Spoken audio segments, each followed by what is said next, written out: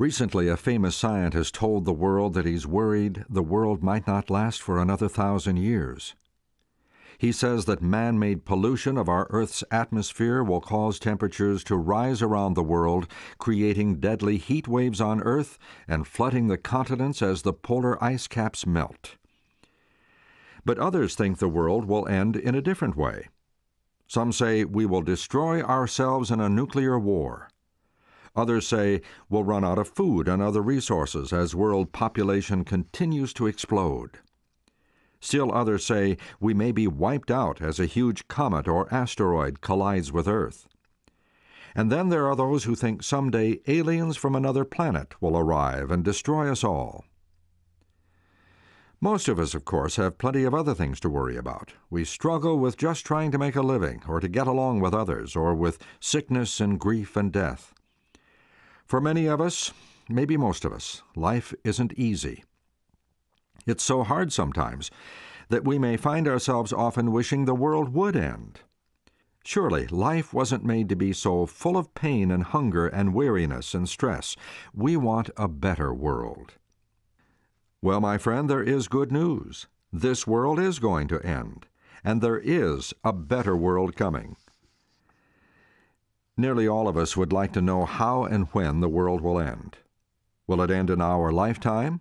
or a thousand or ten thousand years from now, and who is right about how it will end.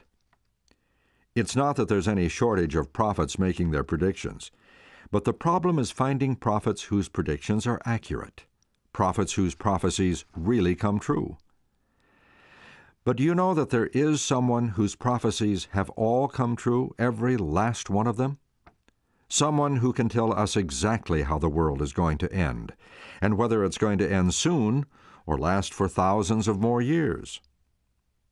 It should be no surprise to learn that the one who made this world, the one who was there as it began, is also the one who knows when it will end. And friends, Jesus Christ, the God of creation, through His Word, can take us into the future. He is a reliable guide who could know more about the end of the world than the one who began it? The Bible tells us about an interesting event in the life of Jesus Christ.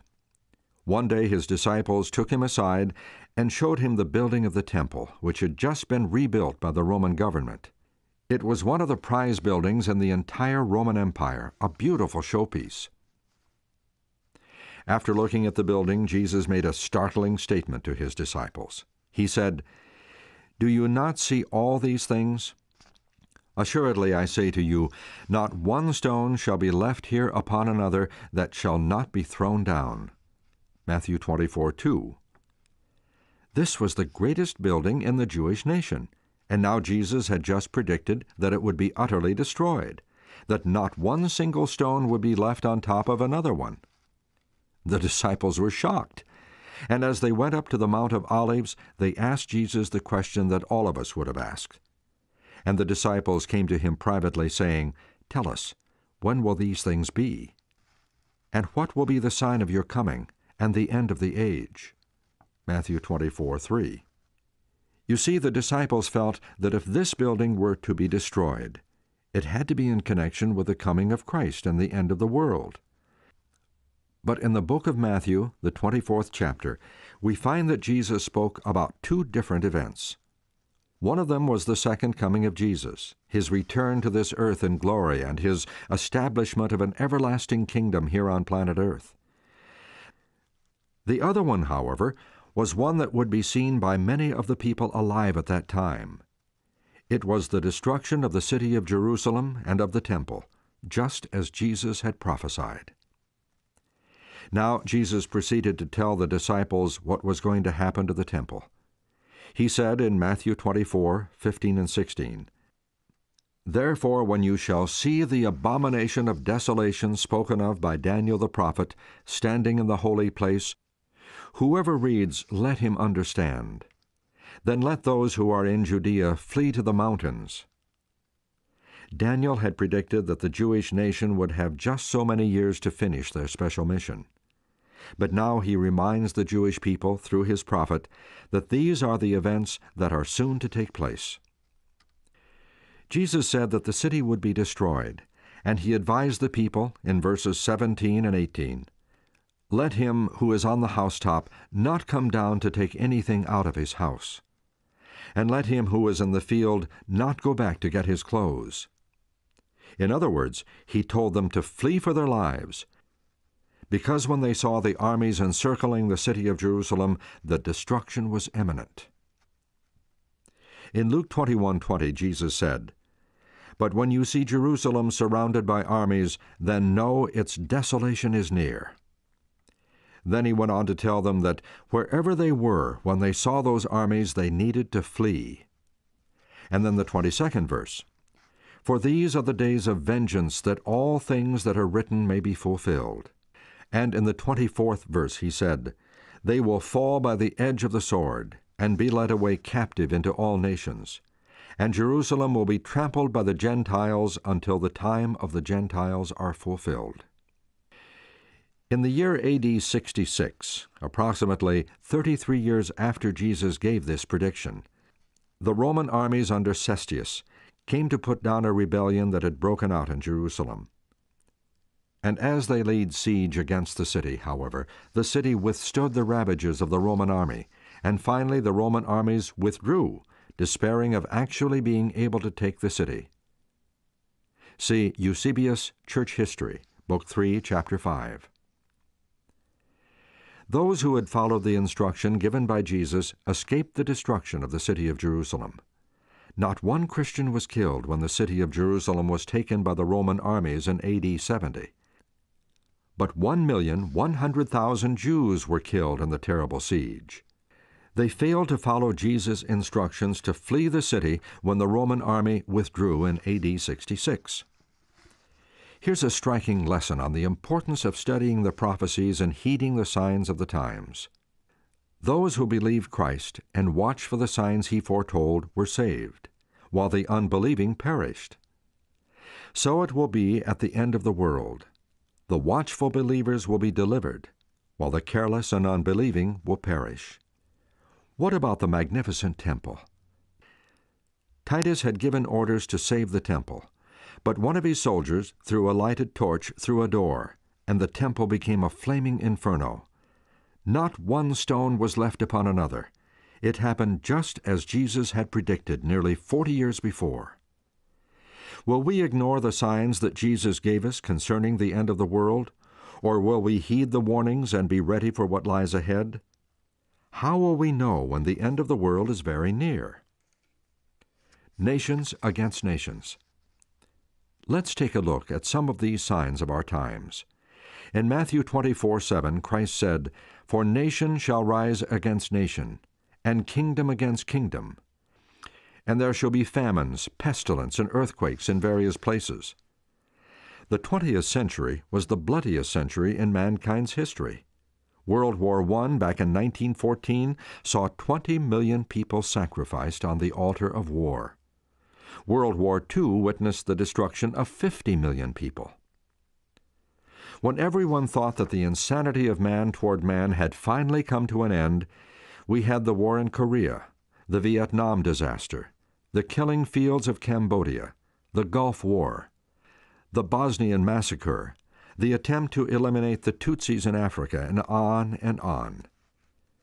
Just when we thought the world would be a safe place in which to live, we had all of these wars breaking out. It seems that the world has gone mad. This is one of the signs of the times. Talking peace, but preparing for war. Another Bible prophecy concerning peace and preparation reads, For when they say peace and safety, then sudden destruction comes upon them. 1 Thessalonians 5 3. We talk about peace, but there is no peace. Everyone wants peace, but it is just talk. The Bible says that in the last moments of this earth, man will have the ability to destroy the earth. The nations were angry, and your wrath has come, and should destroy those who destroy the earth. Never before have men had the ability to destroy the actual matter out of which the earth is made. With the invention of the nuclear bomb, man now has the ability to destroy the earth itself. We thought that when the United States and Russia signed an agreement to get rid of many of these weapons, we no longer had anything of which to be afraid. But we find that this deadly weapon is now mass produced by many of the other nations, and that they're making them to use against their common enemy, whoever that may be.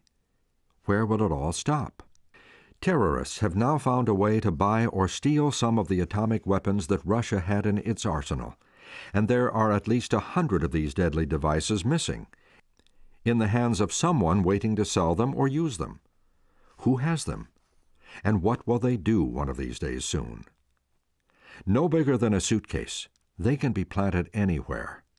And one of them will destroy a city the size of San Francisco or Bombay. Famines. The Lord said there would be disasters of every kind in the last days. There will be famines. Matthew 24 7 and there are famines in many parts of the earth. It's estimated that 57 million people will starve in this one year. That is 156,000 who will die each day from starvation. Of the over 6 billion people alive on the earth at the present time, 60% are malnourished, and 20% will end up starving. Jesus said that there would be famines as one of the signs of the end. Informed sources tell us that when population outpaces food production, then worldwide famine, starvation, epidemics, and food wars are inevitable. How will we feed added billions when two thirds of the world's population are hungry now? Jesus described Earth's last hour dilemma by saying that there would be upon the earth distress of nations with perplexity. Luke 21 25 pestilences. Jesus said that there would be pestilences. There will be famines and pestilences and earthquakes in various places. The word pestilence today means, according to the dictionary, the same as a plague. We have many new plagues, in spite of what modern medicine has done. We will list just a few AIDS, malaria, pneumonia, tuberculosis, Ebola disease, new forms of syphilis, gonorrhea, and cholera. The World Health Organization says we now have 40 million cases of HIV. Whole nations will be wiped out if something is not done to stop it. Environmental pollution. Another sign of the times is found in our environmental pollution. The Bible had predicted that the world would grow old. In Isaiah 51 6, God said, Lift up your eyes to the heavens and look on the earth beneath. For the heavens will vanish away like smoke, and the earth will grow old like a garment. What better description could be given to the sky and the earth as they totter to the end? The sky over many of our large cities is filled with carbon monoxide and carbon dioxide and many other poisonous chemicals that we breathe in through our lungs. Signs posted in many cities warn about the danger of the polluted air. In many places, the water is no longer safe to drink because of all the dangerous substances in it. Atomic wastes have become a real problem to dispose of. The workers in one large atomic factory area are being compensated for the poisoning they have suffered. With the world's rapid increase in population, man faces serious problems in surviving on Earth. Where will we be able to get energy and pure water and air? Where will we get food? Earthquakes.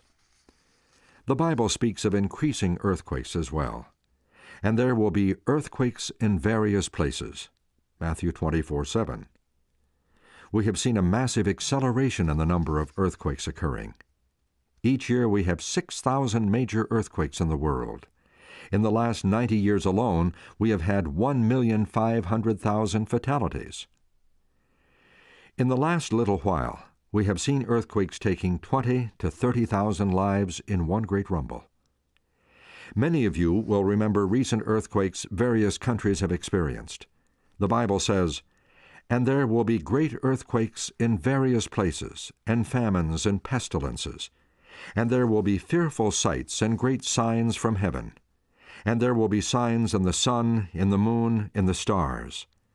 And on the earth distress of nations with perplexity, the sea and the waves roaring. Luke 21 11 and 25. Notice that it says the wind and the waves will be roaring. All over the world we have seen some extraordinary weather typhoons with attending tidal waves, tornadoes, hurricanes, volcanoes, all of these things are taking a fearful toll in property and lives. Knowledge shall increase. Daniel was told by the angel to shut up the words and seal the book until the time of the end. Many shall run to and fro, and knowledge shall increase. Daniel 12, 4. Knowledge of all kinds has increased radically as computers and other amazing inventions have flooded the market. Textbooks are obsolete even before they're printed.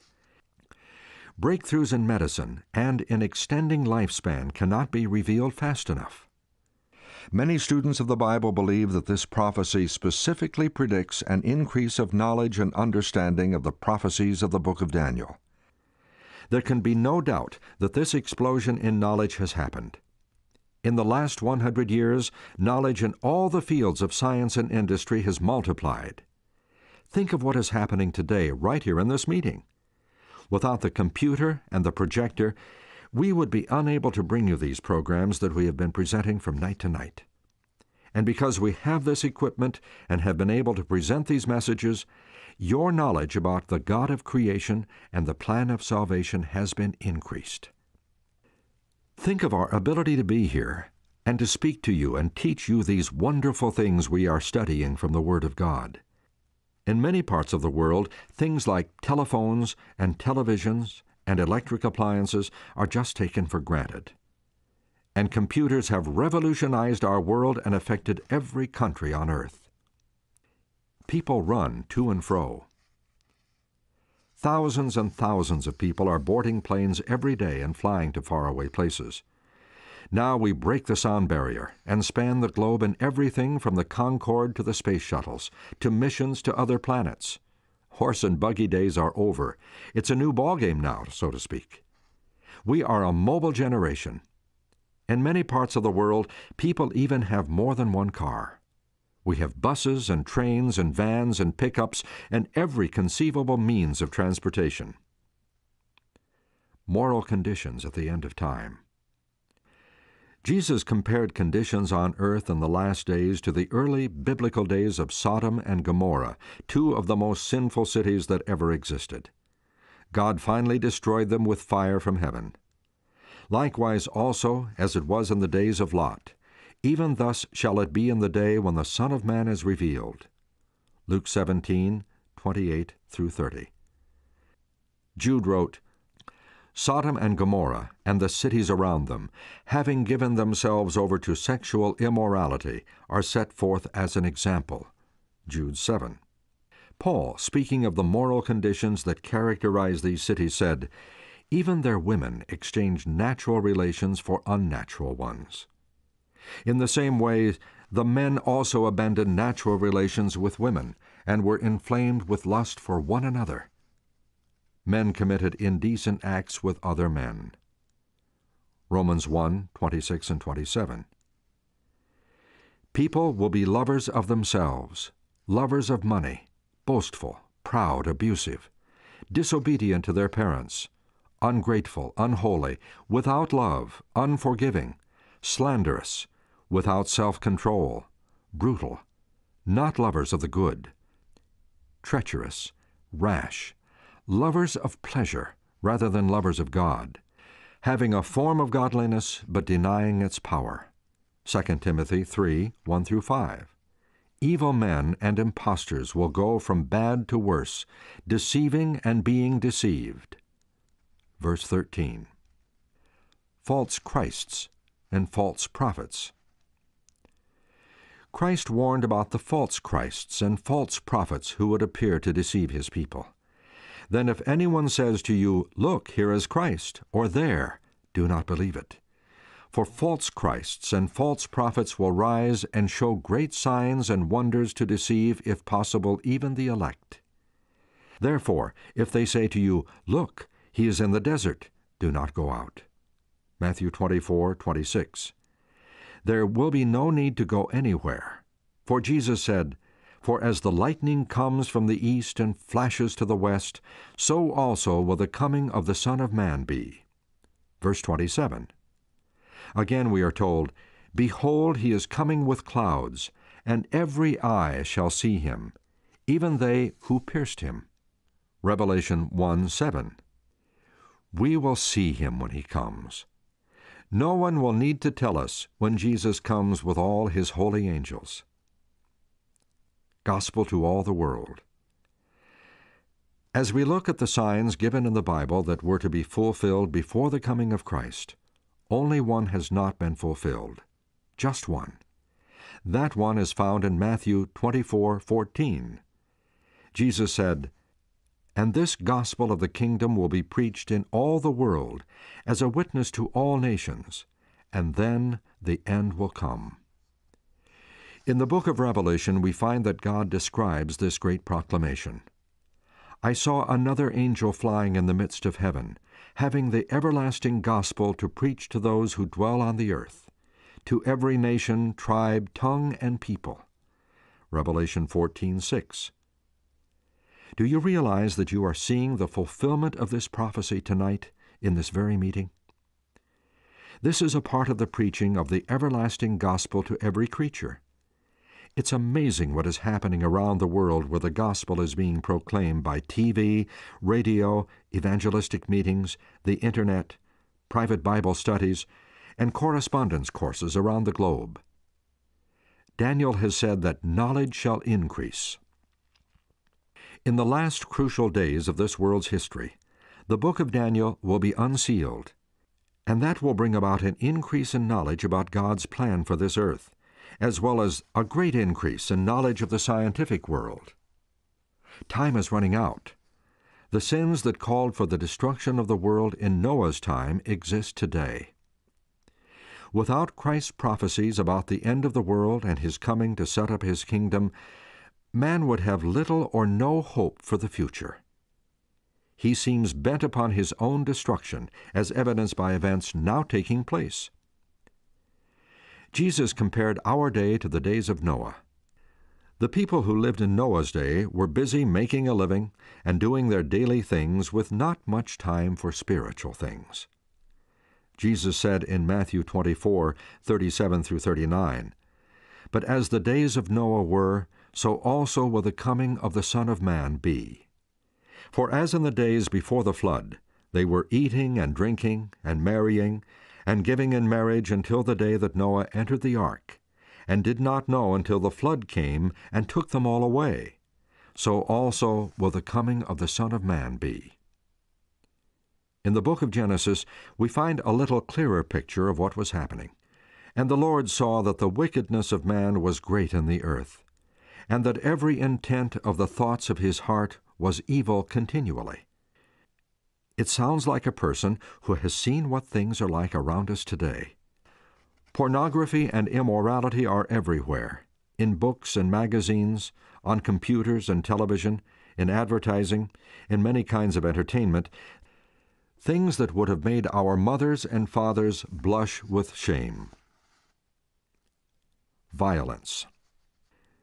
With the flood of evil we have seen sweeping across the world, it's not surprising that violence would follow. Genesis 6:11 tells us, "The earth was corrupt before God, and the earth was filled with violence."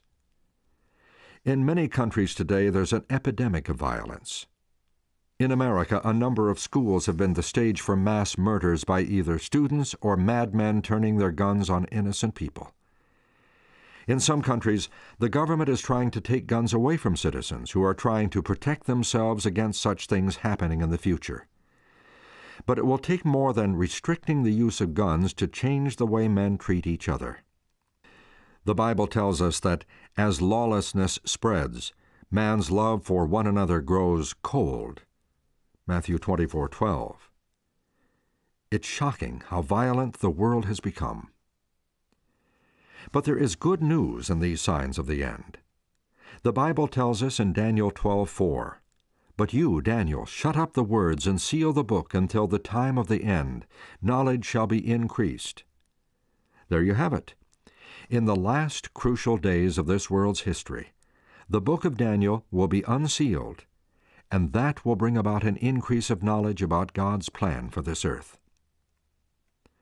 On several occasions, Jesus directed the attention of his audience to the colorful figure of Noah, pictured in Genesis chapters 6 and 7. Noah lived in a time when the earth was filled with sin and violence. It was so bad that the Bible says that God was sorry that he had created man. How could he save the earth and mankind that he had created? God had a plan. He called Noah to head the rescue mission for all who wanted to be saved. And God said to Noah, The end of all flesh has come before me, for the earth is filled with violence through them. And behold, I will destroy them with the earth. Make yourself an ark of gopher wood. Genesis 6, 13. The strange part about these instructions that Noah received from God was that he was to build a very large boat when there had never been a rainstorm on earth. The Bible says it had never rained. But Noah was a man of tremendous faith in God. He followed God's instructions exactly. For 120 years he worked on the ark and warned of coming disaster. He and his sons witnessed, by their work on the ark, to their belief in the instructions God had given them. The people laughed at them and ridiculed them as they faithfully worked and preached. The description given in the Bible reveals that God asked Noah to build a huge boat, for it was to hold Noah and his family and animals of every family.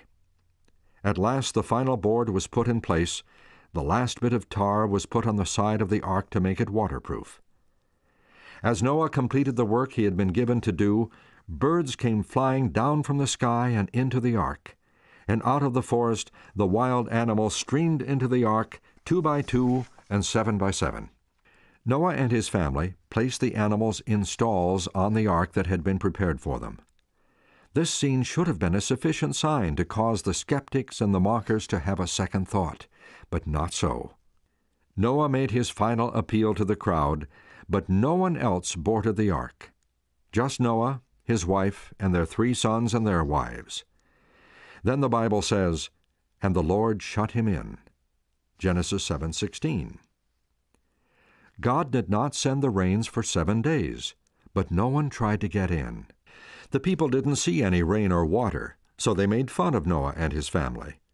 The people scoffed, but the picture soon changed. The Bible gives an interesting account of what happened on the eighth day. And it came to pass that after seven days that the waters of the flood were on the earth.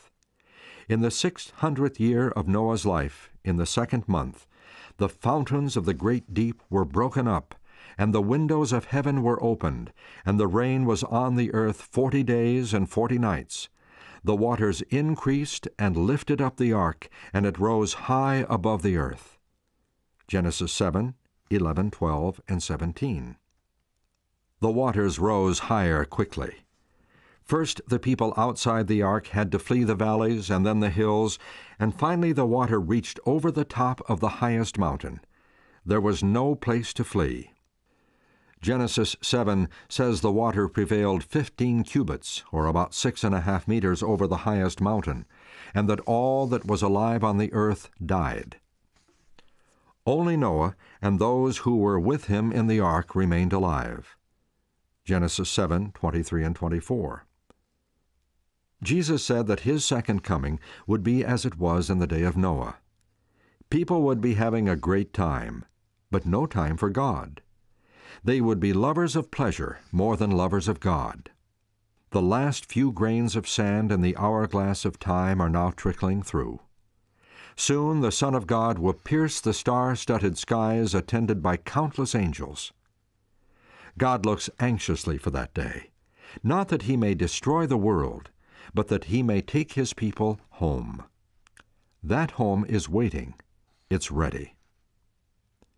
As we look at the signs of the world today, we can certainly see how close we must be to the coming of Jesus. Things now are much as they were the first time Jesus came to this earth. God gave many signs back then to let the people know what time it was that Jesus would come to earth. The clock ticked for 4,000 years, and God even sent angels and wise men to let the people know of his coming. But sad to say, he came to his own, and they received him not. They were not ready for him. Friends, he has given us all these signs, which say he is coming soon.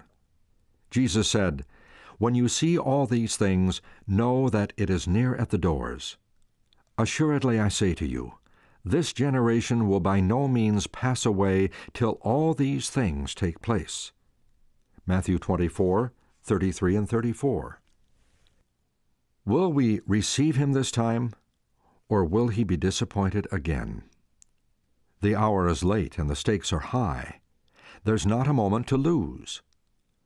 Won't you lift your heart to God right now and ask Him to help you prepare for Christ's soon coming? Won't you prepare your heart to meet the one who made you and who loves you so much he gave his life for you? Oh, it must be the breaking of the day. Oh, it must be the breaking of the day. The night is almost gone, the day is coming on. Oh, it must be the breaking of the day. It's almost time for the Lord to come, I hear the people say. The stars of heaven are growing dim, it must be the breaking of the day. Oh, it must be the breaking of the day. Oh, it must be the breaking of the day. The night is almost gone, the day is coming on. Oh, it must be the breaking of the day.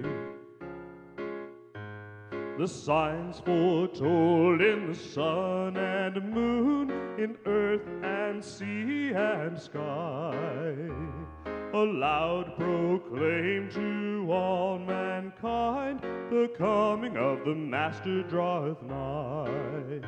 Oh, it must be the breaking of the day. Oh, it must be the breaking of the day. The night is almost gone, the day is coming on. Oh, it must be the breaking of the day. Go quickly out in the streets and lanes and in the broad highway and call the maimed, the halt, and blind to be ready for the breaking of the day.